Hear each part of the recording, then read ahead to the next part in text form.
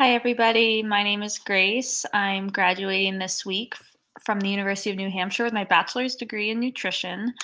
And I'm continuing there in the fall um, to complete my master's degree in nutrition sciences, which is really exciting. And I've been helping UVAC out a lot and creating more nutrition content um, for the Aquatic Center that will increase as we open up more. So, I want to talk today about sugar. And it's a really big topic right now, so I want to um, kind of give a little background and give some tips as well. So, when talking about sugar, it's first, it's really important to understand that by definition, all carbohydrates are sugar. Um, so, all like the veg, like any vegetables with made of carbohydrates, um, cookies, um, bread, like that all has sugar in it. Um, but there are different types of sugar, which I'll get into in a little bit. So, like I mentioned, there are several kinds of sugar, which we can divide into simple sugars and complex sugars. So, simple sugars, they're structured simply, and um, those are like glucose, fructose, and galactose. So, these sugars will get mixed and matched to form more complex sugars, such as sucrose or table sugar. Um, it's a more common name, and then more complex, such as like starch and fiber. And those are all, once you break those all down, they all break down into those simple sugars glucose, fructose, and galactose. But that I won't get into all that science today. Um, so typically, simple sugars will raise your blood sugar faster and give, and that gives rise to the term like a sugar high and why you may crash after. And more complex sugars are more gradual in their effect on your body. For example, having nothing but like a cup of coffee with table sugar or sucrose in it will raise your blood sugar quickly because there's nothing to slow it down. But pairing it with oatmeal, for example, which um, has a lot of starch and fiber, will slow that sugar's release into your bloodstream due to their longer digestion times. And that can be really helpful. So, as I said earlier, all carbohydrates are made of sugar, so sugar's in everything, even fruits and vegetables. The sugars found naturally in these foods are considered natural sugars, obviously, while the sugars found in cookies or the sugar you put in your coffee are added sugars and should um, and these should be limited. So, the simple way to think about it, like added sugars, you just add um, you are physically adding it to your food um, to whatever you are eating. Um, obviously, there's exceptions like maple syrup is tend and like agave nectar and those kinds of alternative sweeteners are tend to be thought of as natural sugars as well.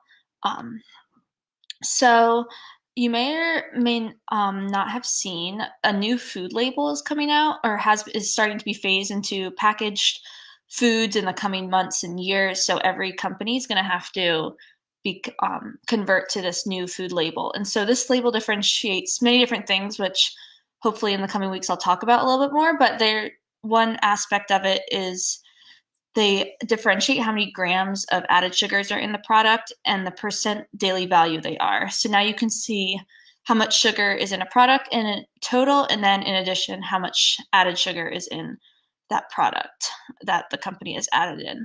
And so that is really helpful for cutting back on your sugar intake. So while everyone has different needs, the USDA does put out um, national recommendations for added sugar as well as other nutrients. For sugar, it's nine teaspoons per day for men and six teaspoons a day for women. So if you think about like how much sugar you put in your morning coffee, kind of um, this is a good like standard to kind of ba- figure out how your sugar intake compares. Um, and it's in teaspoons, so it's pretty easy to convert.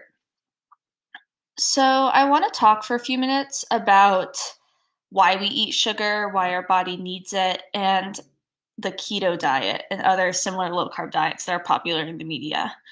If you don't know, the keto diet, um, like others, like the Atkins, are low carbohydrate. Um, and like high protein, high fat.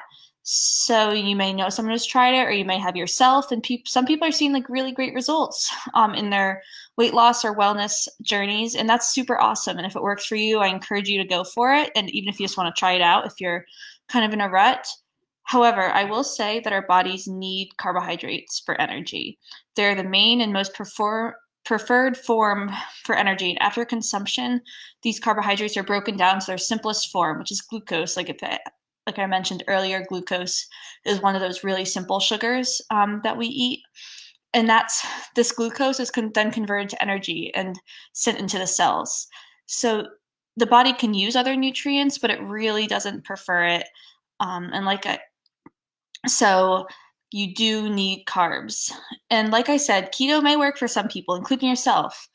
But what I tell everyone when they ask me about diets, um, I want you to ask yourself this.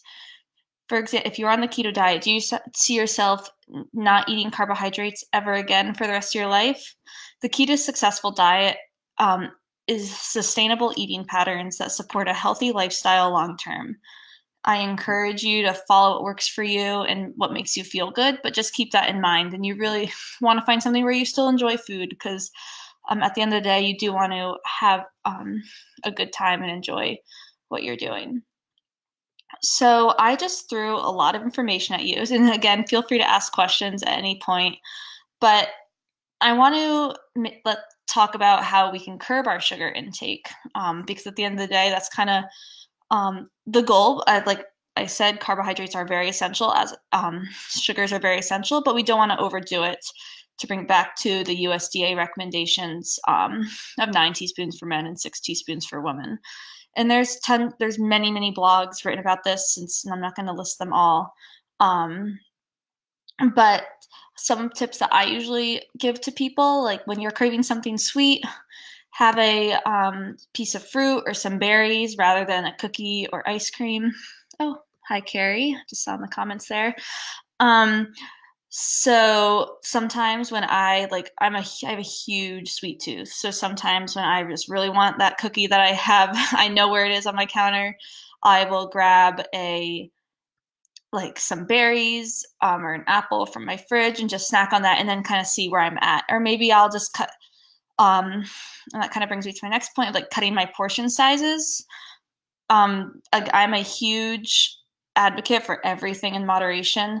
So whether I will, if I want that cake, I will eat. I will eat cake, um, but just keep it, cutting your portion size, like half versus a whole candy bar. Um, maybe even switch to one or like one to two squares of chocolate as opposed to the whole chocolate bar, half a smaller piece of cake versus a larger piece of cake. Um, and yeah, Susan brings up a really good point. Even those with diabetes do need carbs. There's this misconception I've found studying nutrition when people find out I study nutrition, they're like, oh, like people with diabetes, like they can't eat any carbs. I'm like, that is so false. You need carbohydrates to survive. So good point, um, Susan.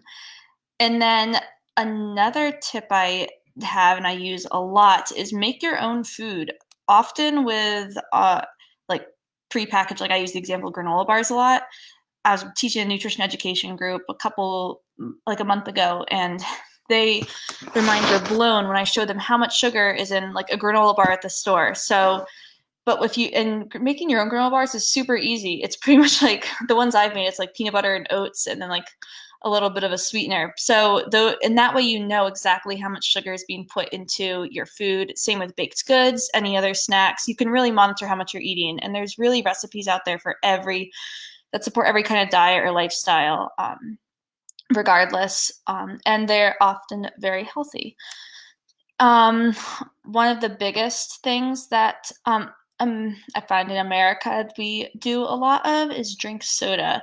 So switch drinking soda. If you've ever looked at a nutrition label for soda, there's so much sugar in it, which I think we all know from our dentists. Um, so if you drink soda, try to switch to like a diet soda or maybe ju- fruit juice with seltzer and um, instead with moder- in moderation, um, just to lower your um, sugar intake. Because often, the, like a can of Coke has, I think, like 40 to 50 grams of sugar, and that um, is definitely over the six to nine teaspoons of sugar that you need a day. So um, try that, or even if you're drinking multiple sodas a day, just cut down to one or two versus three or four. Um, just make little changes is really the key in that. And I'd be happy to talk more about um, your personal goals regarding those kinds of more drastic switches. And then the last kind of tip I have is check nutrition labels. Um, I mentioned earlier, the USDA made the nutrition labels much easier now to understand. There's more definitions on there. You can see more of how much you're eating, and they're more accurate to represent the current research.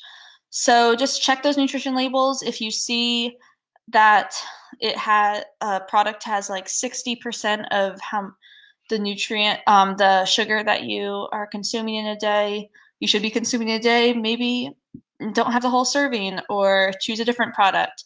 And just awareness is really the key to under um, to helping curb your sugar intake and or um, find what's good for you and not to sugar for anything. Um, really use the nutrition labels are your friends, and I hope to talk about that more in the next couple weeks because it's really the first tool in the, um, that you can use for um, helping improve your diet and health. But I, at the end of the day, I've given everything in moderation. Like I gave you these tips, but really just take them with a grain of salt. Find what works for you. Don't hesitate to do something um, that I didn't say or that other people haven't recommended, or you want to try a fat of one of the more fad diets. Go for it. If you find it works for you, that's awesome. Um, just do what makes you feel good at the end of the day. So that's all the kind of information I have. Feel free to comment your questions um, or anything else, or if you can, if you think of one later, you I can. Um, you can find my contact info on the UVAC's website or shoot us a message. Um, I was really great to talk to you all today about this, and that's all I have. Thank you. I'll hang out for a few more minutes if anyone has any other questions. Oh, got a question. Should I put raisin? Um, I'm assuming it's or cranberry in my granola bars. Yes, um, they're a great form of sweetness, and often I think raisins more than craisins they have actually have um, no added sugars, which is even better. Craisins is a sour fruit. They um, often put sugar in the craisins, but yeah, anything you want to put in there, I kind of I've gotten to the point where I just like put a, anything that's in my kitchen. So I'll put raisins. Um, I do like the taste of craisins better because they're sweeter, but um, yeah, craisins will work. Um, I usually do like some kind of fruit like that or dried fruit, um, peanut butter, oats, and sometimes and like honey or uh, I find agave nectar. It's really those like liquid sweeteners that work really better well to hold everything together. But definitely, um, for anything you want, you can put nuts in there. It's really you can even get some ideas by looking at popular brands um, and what they put in um, for ingredient ideas. But they're really easy to make, and there's so many recipes out there, which is super awesome. All right. Thanks, Carrie, for that question if there are no other questions, um, it's not looking like there are. I am going to get going, but please email me if you have any questions. Um, message me on Facebook. I'm happy to answer all of your nutrition and health questions. Thanks, everybody. Bye.